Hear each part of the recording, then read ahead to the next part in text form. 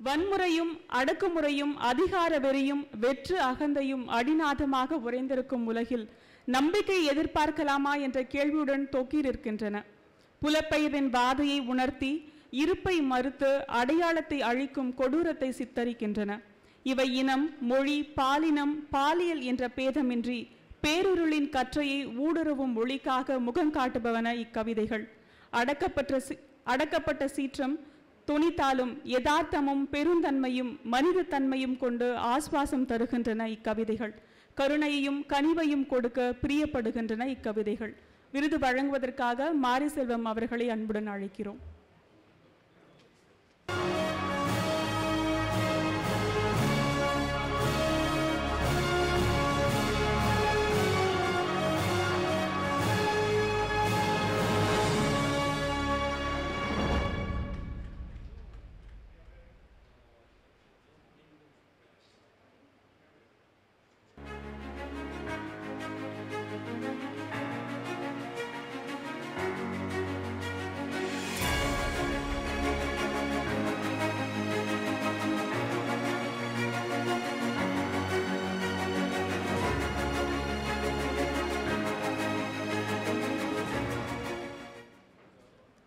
வழங்குவதற்காக கவிஞர் மொழிபெயர்ப்பாளர் அனுராதா ஆனந்த் அவர்களை அன்புடன் அழைக்கிறோம்.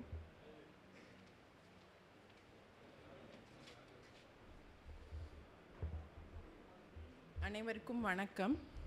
ஆஹ் என்னுடைய சக விருதாளர் அனைவருக்கும் வாழ்த்துக்கள்.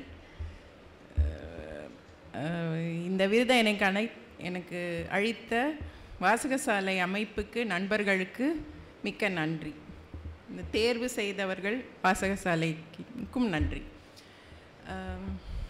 நான் முதல்ல வாசகசாலையை பற்றி கொஞ்சம் சொல்லணும் அப்படின்னு நான் நினைக்கிறேன். அவங்க தென்றல் சொன்ன மாதிரியே தான். எனக்கும் வந்து வீட்டில் உட்காந்து எழுதிட்டு இருந்தேன் எனக்கு முதல் முதலாக இலக்கிய சம்பந்தமாக ஒரு கூட்டத்துக்கு நான் போகிறேன் அப்படின்னா அது வாசகசாலையோட கதையாடல் நிகழ்வுக்கு தான் நான் முதல்ல போனேன். பரிசல் புத்தக நிலையத்தில் ரொம்ப சின்னதாக நடந்த ஒரு கதையாடல் நிகழ்வு. அத் அந்த நிகழ்வில் என்னை பேச கூப்பிட்டாங்க. அதுதான் என்னுடைய முதல் இலக்கிய கூட்டமும் கூட. இரண்டாவது கூட்டம்ங்கிறது இதே மாதிரி வாசகசாலையோடைய முப்பெரும் விழா நான் முதல் விழான்னு நினைக்கிறேன். அதில் என்ன தஞ்சை பிரகாஷோட மிஷன் தெரு அப்படிங்கிற அந்த புத்தகத்துக்கு அறிமுகம் செய்ய கூப்பிட்டாங்க. அதுதான் இந்த இந்த கிட்டத்தட்ட இந்த மேடையில் தான் நான் அதை ஒரு வாசகியாக அந்த புத்தகத்தை நான் அறிமுகம் செஞ்சு பேசினேன் நான் அது. எனக்கு வாசக சாலைங்கிறது வேறு விருதுகள் வாங்கியிருந்தாலும் இது ரொம்ப ரொம்ப நெருக்கமான விருதாக எனக்கு இருக்குது ஏன்னா இது எனக்கு ஒரு தாய் வீடு மாதிரி அம்மா வீடு மாதிரி.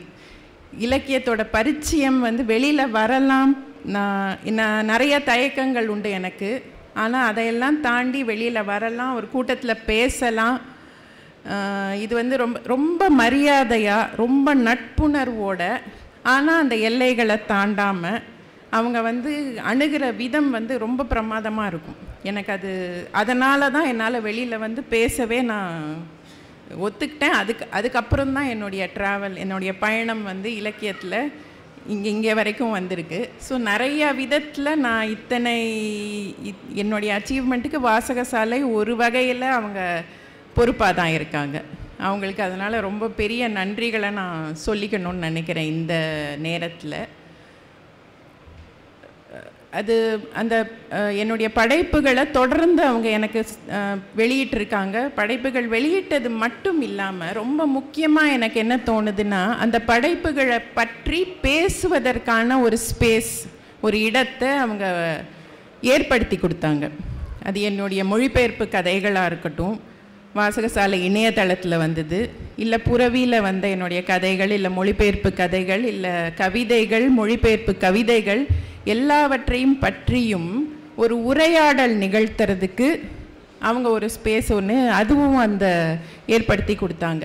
இது நிறைய கதைகள் கவிதைகள்லாம் வந்து வாசகசாலையுடைய அன்பர்கள் தான் என்னோடதை பற்றி பேசியிருக்காங்க. அங்கே ரே விஜயலக்ஷ்மி அவங்க என்னுடைய கதையை பற்றி பேசியிருக்காங்க. இந்த மாதிரி என் அடுத்தடுத்து செய்ய வேண்டிய உத்வேகம் வந்து அதனால தான் எனக்கு வந்தது அப்படிங்கிறத நான் ரொம்ப முக்கியமாக இங்கே பதிவு செய்யணும்னு நினைக்கிறேன். நமக்கு வந்து மொழிபெயர்ப்பாளர்களுக்கு வந்து ஒரு இது- இது ஒரு தேங்க்லெஸ் ஜாப் கிட்டத்தட்ட. பெருசாக உங்களுக்கு எந்த வித வி- எந்த விதமான ஃபீட்பேக் எல்லாம் அவ்வளோ சீக்கிரமாக வந்துடாது இந்த தமிழ் இலக்கிய சூழலில் அவ்வளோ ஈஸியாக நம்மளை இதெல்லாம் பண்ணிட மாட்டாங்க பாராட்டிட மாட்டாங்க.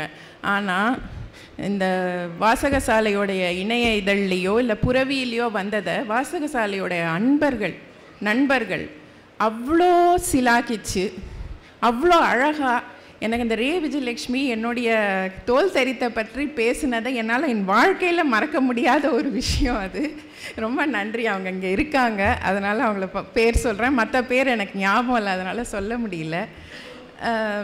இ- இத்- இது வந்து இதுதான் வந்து ஒரு படைப்பாளருக்கு இந்த இந்த விருது ரொம்ப முக்கியம்தான். ஆனால் அது வந்து அதை விட பெரிய விருது அப்படின்னு நான் நம்புகிறேன் நம்ம எழுதினோடனே அது வ- அது பப்ளிஷ் ஆனோடனே சுட சுட அதை பற்றி பேசுறது. அது நல்லதோ கெட்டதோ? அது நம்ம கவனிக்கப்படுறோம் அப்படிங்கிற அந்த ஒரு ஒரு விஷயம் வந்து அதுதான் ஒரு பெரிய விருதாக இருக்கும். அது எனக்கு ரொம்ப வாசகசாலையில் பிடிச்ச விஷயம். இது இது மட்டும் இல்லை. இன்னொன்று வந்து நிறைய பெண்கள் ஒரு இலக்கிய கூட்டத்தில் படைப்பாளிகளாக இல்லை. வாசகர்களாக ஆடியன்ஸாக இருக்கிறத நான் கிட்டத்தட்ட வாசகசாலையில் தான் நான் பார்த்துருக்கேன். அந்த பெண்களுக்கான அந்த ஸ்பேஸை கொடுக்குறாங்க இல்லையா? அது வந்து ரொம்ப ரொம்ப முக்கியமான ஒரு செயல்பாடு அப்படின்னு நான் நம்புகிறேன் என்னுடைய இந்த மொழிபெயர்ப்பு கவிதை தொகுப்பு ஆணின் சிரிப்பு கிட்டத்தட்ட இந்த விஷயத்தை பற்றி தான் பேசுது. ஆணின் சிரிப்பு அப்படிங்கிற அந்த கவிதையே ஆண்கள் வந்து எந்த புரிதலும் இல்லாமல் அவங்க எல்லா சலுகைகளிலையும் ஊறி திளைத்து பெண்களுக்கு அந்த இடம் இல்லை அப்படிங்கிற எந்த புரிதலும் இல்லாமல் இதெல்லாம் ஒரு விஷயமா அப்படின்னு சொல்லிட்டு சிரிக்கிற என்ன இடங்கள்லாம் சிரிக்கிறாங்களோ அதுதான் அந்த கவிதை. ஒலிவியா கேட்வுடோட கவிதை அது.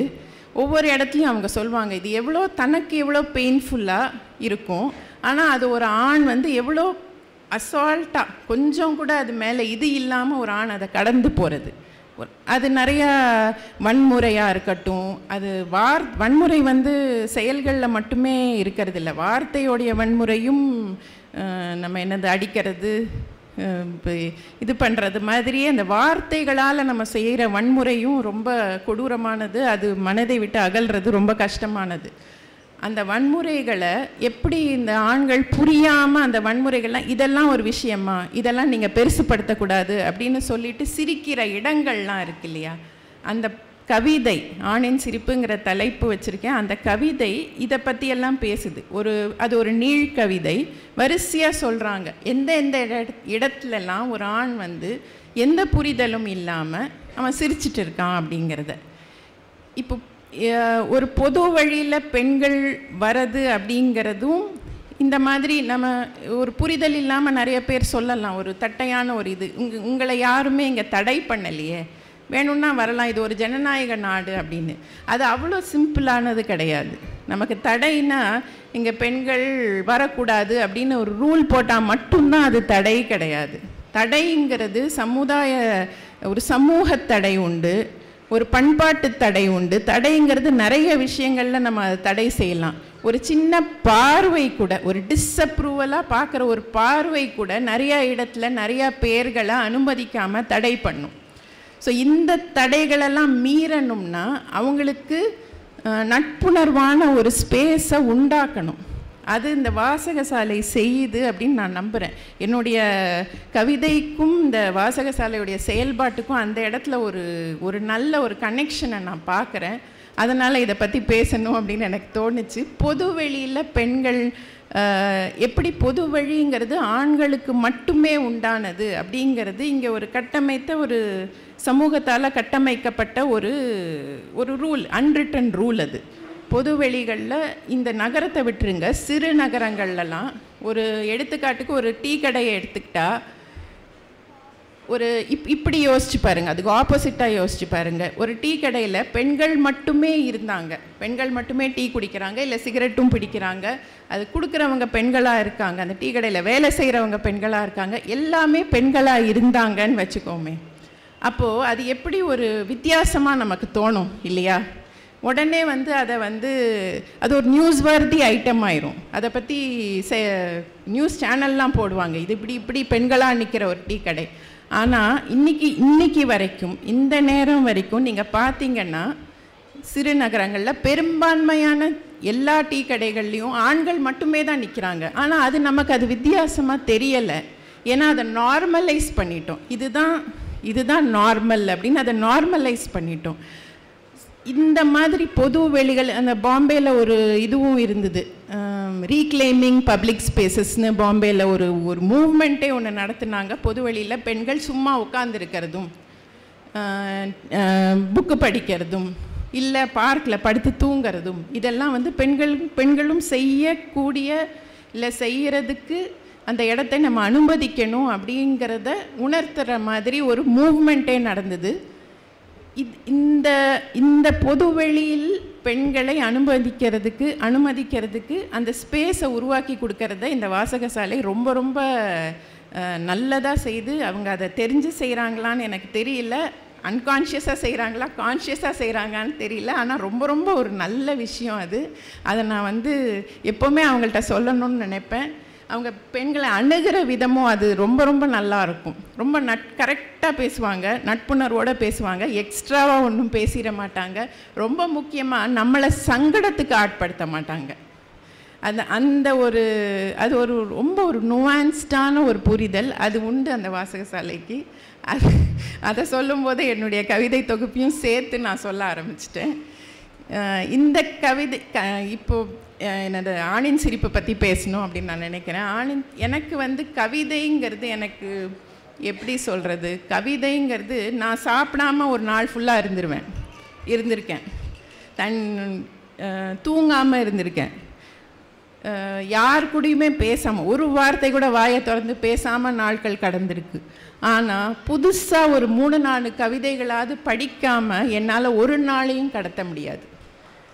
அது வந்து அது ரொம்ப ரொம்ப அது அதை என்ன சொல்கிறது அது ஒரு அடிக்ஷனா இல்லை அது ஒரு பேஷனா இல்லை அது ஒரு பைத்தியமா இல்லை ஒரு வியாதியா? எனக்கு தெரியல.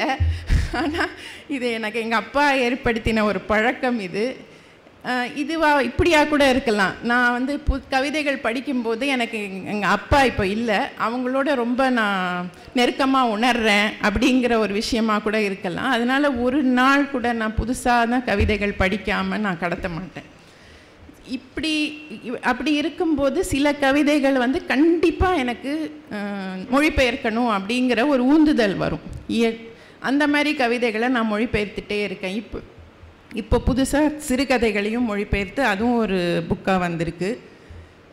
சிறுகதைகள் மொழிபெயர்க்கிறதுக்கு ஒரு இரநூறு முந்நூறு கிட்டத்தட்ட கதைகளை நான் படிச்சிருக்கேன். இது அந்த அது அது அதுவும் அந்த அந்த தொகுப்புலேயும் வந்து ஒன்பது பெண் அதுவும் முக்கால்வாசி வாசகசாலையில் வந்த கதைகளாக தான் இருக்கும். அதுவும் ஒன்று இணையதளத்தில் வந்திருக்கும் இல்லை புறவியில் வந்திருக்கும். அதில் ஒன்பதும் பெண் க பெண் எழுத்தாளர்கள் தான் அதில். ஒரே ஒருத்தர் மட்டும்தான் ஆண் எழுத்தாளர். அவரும் ஒரு பெண் மொழிபெயர்ப்பாளரை பற்றி எழுதினது அந்த கதை. மொழிபெயர்ப்பாளரின் இறுதிச் சடங்கு அந்த கதையோட பேர். எனக்கு எனக்கு நேச்சுரலாகவே ஆர்கானிக்காகவே இந்த வகையில் தான் என்னுடைய மைண்டே வேலை பார்க்குது. அதனால் திருப்பி வாசகசாலை அன்பர்களுக்கு ரொம்ப நன்றி. எனக்கு இந்த விருதை கொடுத்தது. என்ன விருதாக இருந்தாலும் அது ஒரு படைப்பாளிக்கு பெரிய ஊக்கத்தையும் அடுத்து செயல்படக்கூடிய அடுத்து ஒரு வருடத்துக்கோ இரண்டு வருடத்துக்கோ செயல்படக்கூடிய அந்த ஊந்துதலையும் அந்த விருது தான் எங்களுக்கு அழிக்குது அதனால் வந்திரு வந்திருக்கும் அனைவருக்கும் நன்றி. வாசகசாலைக்கு மீண்டும் நன்றி.